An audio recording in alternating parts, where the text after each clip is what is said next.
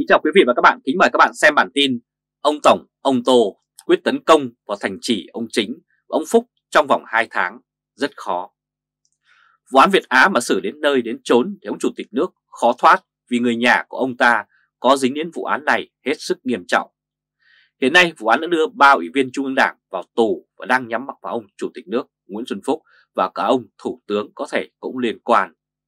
Vụ án Việt Á liên quan đến nỗi chỉ đạo của ông Thủ tướng, còn với ông Chủ tịch nước thì phạm vào điều lệ của Đảng, đó là để cho người nhà làm những điều không được phép làm. Vào ngày 12 tháng 10, Ủy ban Kiểm tra Trung ương Đảng đã tổ chức hội nghị toàn quốc giao ban công tác kiểm tra, giám sát 9 tháng năm 2022 và triển khai nhiệm vụ 3 tháng cuối năm theo hình thức trực tuyến.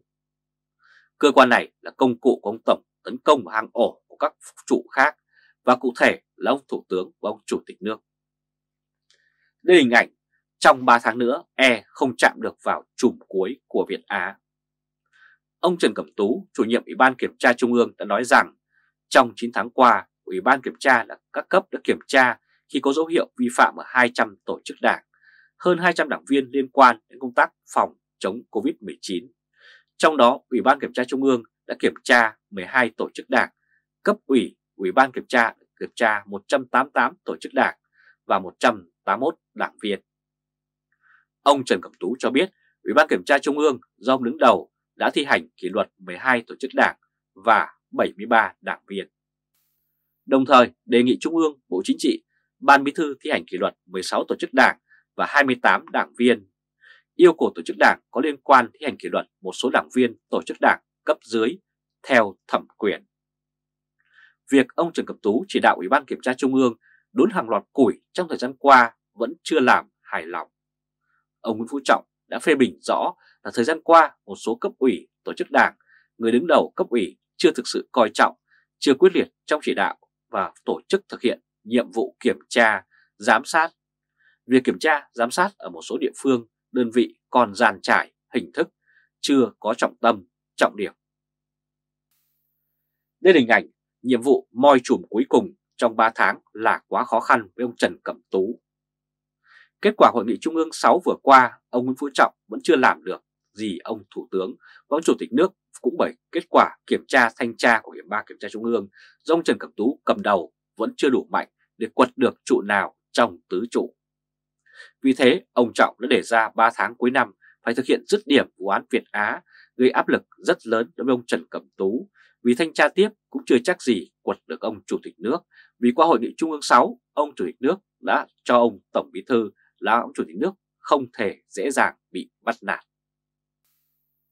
Hiện nay, ông Tú đang áp lực xuống dưới yêu cầu đẩy nhanh thực hiện toàn diện các nhiệm vụ của Ủy ban Kiểm tra các cấp theo quy định của điều lệ đảng, trọng tâm là kiểm tra, giám sát cán bộ, đảng viên có biểu hiện suy thoái về tư tưởng chính trị, đạo đức, lối sống, tự diễn biến, tự chuyển hóa, vi phạm những điều đảng viên không được làm. Đây là hình ảnh ông Nguyễn Phú Trọng cần củng cố thêm sức mạnh thì mới có thể tìm đến được chùm cuối của Việt Á. Ông Trần Cẩm Tú cho biết, nhiệm vụ kiểm tra, xử lý kịp thời, nghiêm minh các tổ chức đảng, đảng viên có vi phạm trong các vụ việc, vụ án thuộc diện Ban chỉ đạo Trung ương về phòng chống tham nhũng, tiêu cực, theo dõi, chỉ đạo đang thực hiện như các vụ án xảy ra tại công ty Việt Á, tập đoàn FEC, công ty cổ phần tiến bộ quốc tế IC, Cục lãnh sự của Bộ Ngoại giao. Trong 3 tháng cuối năm, kiểm tra kết luận xử lý dứt điểm đối với các tổ chức đảng, đảng viên vi phạm liên quan đến vụ việc của công ty Việt Á. Cho đến nay, ông Nguyễn Phú Trọng mới vừa được Ủy ban Kiểm tra Trung ương và đưa một ủy viên Bộ Chính trị vào tù, đó là ông Đinh La Thăng. Và có vẻ như sức mạnh của ông Tổng cũng chỉ đến có thế thôi. Còn ghế của tứ trụ dường như lò của ông Trọng không với tới được. Kính chào quý vị và các bạn, kính mời các bạn xem bản tin Trương Mỹ Lan chống ý trời thổi hồn cho công trình ma và trả giá ra sao. Vạn Thịnh Phát là tập đoàn đã thu về những công trình ma đã bỏ hoang hàng thập kỷ tại các vị trí trung tâm của thành phố Hồ Chí Minh. Những công trình có giá trị quá lớn và bị vướng vào phong thủy nhưng bà Trương Mỹ Lan vẫn hốt vào thổi hồn cho nó sống dậy. Nhờ đó bà Trương đã nắm trong tay nhiều dự án khủng mà đại gia nào cũng phải ao ước.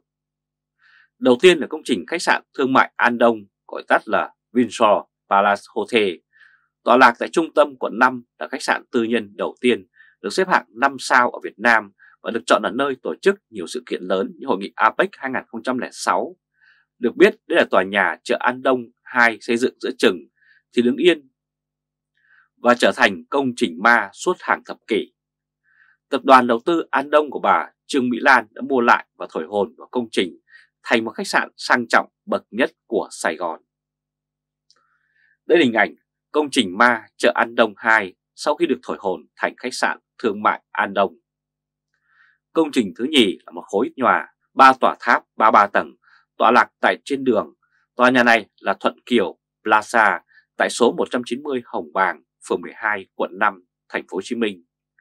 Tòa nhà này khi mới khánh thành rất hoành tráng nhưng sau đó không ai sinh sống và buôn bán vì bị nói rằng có ma và sau đó Thuận Kiều Plaza đã thành công trình ma không ai ở thật. Công trình này được giới phong thủy cho là bị lỗi phong thủy vì nó giống hình ảnh ba cây nhang cắm lên đế. Bất chấp lời đồn, vào năm 2015, bà Trương Mỹ Lan cho công ty cổ phần An Đông mua lại và sửa sang rồi đổi tên thành The Garden Mall. Tuy nhiên, sau cái sửa, các hoạt động kinh doanh cũng không sống dậy và giờ đã trở thành tòa nhà ma như cũ. Đây là hình ảnh công trình Ma Thuận Kiều Plaza sau khi được thổi hồn thành công trình The Garden Mall. Công trình thứ ba là dự án ifc One Sài Gòn. Dự án này ban đầu có tên là Sài Gòn One Toll, khởi công xây dựng từ năm 2007 do công ty cổ phần địa ốc Sài Gòn M và C làm chủ đầu tư với tổng số vốn đầu tư là 256 triệu USD. Nhưng đến năm 2021, 11 khi đang trong giai đoạn hoàn thiện được khoảng 8% thì bất ngờ bị ngừng thi công cho đến nay. Nguyên nhân là chủ đầu tư bị ngân hàng siết nợ. Dự án này là khối bê tông sừng sững nằm ngay ở trục đường lớn nhìn ra sông Sài Gòn. Đây là công trình mọc lên từ vị trí vũ trường, phi thuyền, một thời của Nam Cam. Giới phong thủy lại đồn rằng đây là mảnh đất giữ nên công trình mọc lên cũng thành công trình ma nốt. Công trình Sài Gòn One Toll đã nằm chính hình giữa trung tâm hào nhoáng một khối bê tông lạnh toát từ hàng thập kỷ qua. Tuy nhiên, hồi đầu năm, trên trang web dây của công ty cổ phần tập đoàn Vạn Thịnh Phát, nhà quản lý và phát triển bất động sản Vivaland, một trong những công ty mới thành lập đã mua lại và sửa chữa công trình ma này thành một công trình rất lộng lẫy và giờ đang hoàn thiện. Tuy nhiên, hiện nay bà Trương Mỹ Lan bị bắt thì công trình này đang đứng trước nguy cơ trở lại với vai trò công trình ma của nó. Đây là hình ảnh công trình EF1 ở Sài Gòn đang thổi hồn thì bà Trương Mỹ Lan lại bị bắt.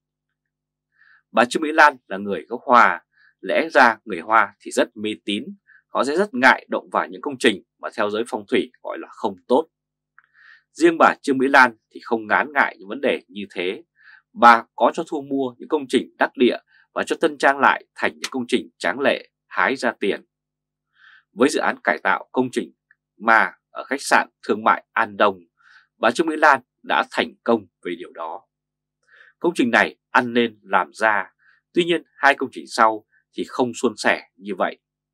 Hai công trình sau đã có một công trình sau thổi hồn, xong lại sống dậy, nó cũng đang trở thành công trình mà tiếp theo.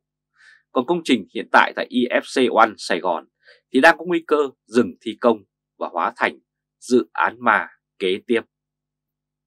Sau những công trình cãi trời như thế, đế chế của bà Trương Mỹ Lan vẫn mạnh cho đến khi bà Trương bị bắt. Không biết thầy phong thủy phán thế nào với trường hợp cãi trời của bà Trương. Còn giới phân tích chính trị thì phán khác. Họ nói việc làm ăn kinh tế mà cậy nhờ quá nhiều vào chính trị thì bị thịt là tất yếu, không sớm thì muộn.